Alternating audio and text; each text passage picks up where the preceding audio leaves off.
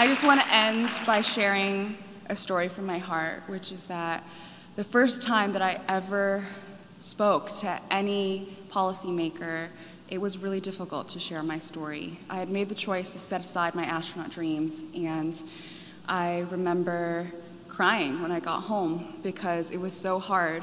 Um, I was just like, I just need somebody to tell me that they love me.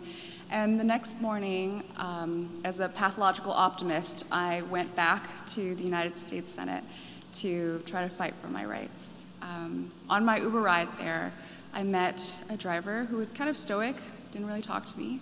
But at the end of the ride, he asked me why I was going, and I shared with him that I was fighting for these rights. And he turned to me and he started crying, just tears welling from his eyes, and he said, My daughter was also raped. And what you shared with me, she also went through too. When he stopped the car, he said, Can I shake your hand? Thank you so much for fighting for her. Has anyone told you that they love you today? I love you.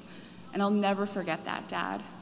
And so, as I'm here, as we're concluding this event, I just want to say thank you from the bottom of my heart for reminding me of that story and for being here because our story is the story of progress.